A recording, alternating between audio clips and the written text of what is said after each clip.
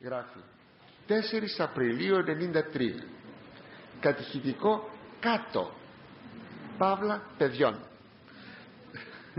Προφανώς λοιπόν είναι ένα μικρό παιδί εδώ που υποβάλλει αυτή την απορία. Λέει είναι κακό να λέμε ψέματα έστω και για αστεία ή να κοροϊδεύουμε μάλιστα.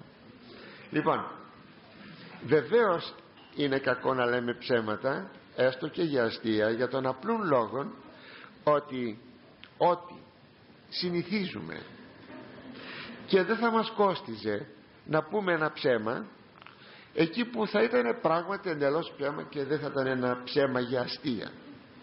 Γι' αυτό λοιπόν δεν θα λέμε ψέματα ούτε για αστείο. Και όπως λέγαμε προηγουμένως στο μάθημά μας ότι το ψέμα δεν το θέλει ο Θεός και ακόμη μη ψεύδεσαι αλλήλους ότι αλλήλων μέλιες μεν που λέει ο Απόστολος Παύλος μη λέτε ψέμα το ένας με τον άλλον γιατί με θα μέλη του ενός σώματος του Χριστού και δεν μπορούμε να λέμε ψέματα διότι αν τα μέλη του σώματος λένε ψέματα τότε θα υπάρξει στο σώμα σχίσμα. Αν μου λένε τα μάτια ψευδή πράγματα τα χέρια, τα πόδια ψευδή πράγματα τότε έχω σχίσμα στην ύπαρξή μου. Δεν μπορώ να σταθώ. Το ίδιο πράγμα είναι και το σώμα της Εκκλησίας οι πιστοί. Δεν πρέπει να λένε μεταξύ των ψέματα. Και ακόμη δεν πρέπει να κοροϊδεύουμε. Αυτό το κοροϊδεύω επιτρέψατε μου να το πω λιγάκι πιο βαθύτερα. Τα μικρά παιδιά κοροϊδεύονται. Στο σχολείο όχι ο λιγότερο και οι μαθητές γυμνασίου και ηλικίου και ακόμη όχι ο λιγότερο και οι στρατιώτες μεταξύ των. Και ακόμη όχι ο λιγότερο και οι δημόσιοι υπάλληλοι οι εργάτες σε ένα εργοστάσιο οπουδήποτε. Θα έλεγε κανείς γιατί και ποιον κοροϊδεύουν; Κάποτε βάζουν στόχο τους κάποιο πρόσωπο και το κοροϊδεύουν και ξέρετε πόσα ψυχολογικά προβλήματα δημιουργούν στον άνθρωπο τον άλλον το παιδί να, να μην θέλει να πάει στο σχολείο να μην θέλει να πάει στο στρατό να θέλει να φύγει. Γιατί, γιατί οι άλλοι τον κοροϊδεύουν. Όλοι δεν είμαι θα τέλειοι έχουμε ατέλειες. Αν λοιπόν υποτεθεί ότι παρουσιάζω μία ατέλεια γιατί θα πρέπει να με κοροϊδεύουν οι άλλοι άνθρωποι; Αντί να με συμπονέσουν να με συμπαθήσουν. Όχι λοιπόν να ε, κοροϊδευόμαστε. Αυτό δεν το πράγμα στο σχολείο είναι σε πολύ μεγάλο βαθμό και μάλιστα όταν ένας μαθητής βγει στον πίνακα να πει μάθημα κάνει ένα λάθος. Οι άλλοι γελάνε. Μου θυμίζει δε αυτό δημοτικό σχολείο γιατί εκεί το φαινόμενο παρατηρείται όταν το βλέπω σε μεγάλους ανθρώπους. Γιατί να γελάς; Γιατί; Θυμάμαι στρατιώτες είμαστε ε, σήκωσαν ήταν δύο μάλιστα εκπαιδευτέ κάναμε θεωρητικά μαθήματα.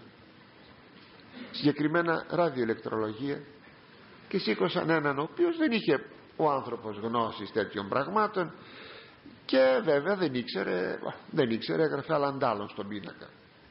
Κάναμε εκπαίδευση. Θυμάμαι αυτούς τους δυο πως γελούσαν.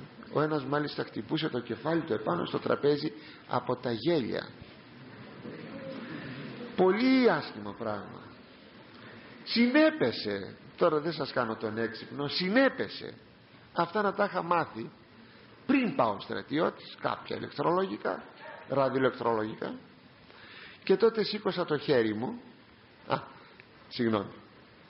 Ε, βρε βλάκα να του λένε τους συναδέλφου και ξέρετε κανείς πόσο άσχημα αισθάνεται. Πω, πω, πολύ άσχημα αισθάνεται. Προσβάλλεται μετά όταν αυτά επαναληφθούν αρχίζει να μην έχει εμπιστοσύνη στη ζωή του και κάνει, του κάνουμε κακό. Η κοινωνία του κάνει κακό ένας τέτοιου ανθρώπου σηκώθηκε λοιπόν ένας από τους εκπαιδευτές για να σημειώσει τον τύπο αυτόν τον διαβόητο ποιο είναι το ρεύμα στο εναλλασσόμενο όταν και έχουμε παγωγή α, το λέω ξέρετε μερικά και δηλαδή πυκνο, πυκνοτή και ποινίο τέτοια πράγματα. Και το έγραψε λάθος τον πίνακα ο εκπαιδευτής αυτός που γελούσε με τον άλλο. Τότε σήκωσα το χέρι μου και λέγω με συγχωρείτε κύριε εκπαιδευτά δεν είναι ακριβώς έτσι. Πως είναι λέει. Είναι έτσι. Ξέρετε αμέσως κόπηκαν καταρχάς τα γέλια. Κόπηκαν τα γέλια. Μετά φέραν ένα αμερικάνικο βιβλίο εκεί για να διαπιστώσουν πως είναι αυτός ο τύπος. Λόσο να ψάχνετε αυτό είναι. Έτσι είναι δεν είναι έτσι όπως το λέτε. Όταν βγήκαμε έξω μου λέγανε οι συνάδελφοι καλά του τάπες διότι ο άνθρωπος ο οποίος κοροϊδεύει είναι αντιπαθής. Τα ακούσατε; Ο άνθρωπος που κοροϊδεύει είναι αντιπαθής. Και μάλιστα σε θέματα σχολικά. Όχι παιδιά. Σηκώθηκε ένας μαθητής. Δεν ξέρει μάθημα. Ε, να γελάμε; Δεν πρέπει. Να σας πω κάτι. Κάτι που είναι ολότελα θετικό όποιο παιδί. Από την τάξη σας. Φοιτητής είναι μαθητής της πρώτης δημοτικού δεν ξέρω. Σηκώθηκε να πει μάθημα. Οι άλλοι τάξεις τι πρέπει να κάνει; Επειδή δεν έχω εδώ τις τάξεις έχω όμως εσάς. Λοιπόν ακούστε τι πρέπει να κάνετε. Μέσα σας μια σύντομη προσευχή να πει καλό μάθημα ο συμμαθητής σας ή ο συμφοιτητής σας. Το ακούσατε; Να πει καλό μάθημα. Κύριε φώτισέ τον να πει καλό μάθημα. Να απαντήσει καλά. Και όχι να γελάμε. Βλέπετε λοιπόν ότι είναι σημαντικό αυτό. Και κάτι γενικότερα δεν πρέπει να είμαι θα ήρωνες. Βέβαια υπάρχει η άκακη ηρωνία η άκακη που δεν βλάπτει κανέναν. Ε, χρησιμοποιείται μάλιστα είναι προνόμιο των Ελλήνων. Αυτό μας το έχουν ήδη επισημάνει και οι ξένοι ότι ανέκαθεν από τους αρχαιοτάτους χρόνους οι Έλληνες είχαν την ηρωνία.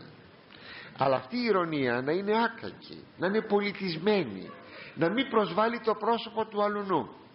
Να πω έτσι να είναι στα όρια ενός χιούμορ. Λέμε χιούμορ. Ε, πολλές φορές αυτό μπορεί να είναι από ηρωνία αλλά δεν βλάπτει κανέναν και όχι να κοροϊδεύουμε. Μέσα στο ποιμαντικό έργο της Εκκλησίας αν υπάρξει ηρωνία όλα τα καταστρέφει. Όλα. Αν δηλαδή εγώ δω κάποιον σηκώσω ένα μαθητή και από εσάς και ρωτήσω κάτι και δεν μου δώσει καλή απάντηση θα πρέπει να αρχίσω να γελώ αυτός ο μαθητής θα ξανάρθει στα χριστιανικά μου μαθήματα όχι βεβαίως. Θα πάρει θα βγει στην άλλη νόχθη δηλαδή θα πάρει άλλο δρόμο. Βεβαίως. Τι κάναμε; Καταστροφή. Λοιπόν η μεν απορία του, του της μαθητού μαθητρίας ε, ήταν κάπως απλοϊκή αλλά έχει όμως πολύ αξία και πολύ σημασία.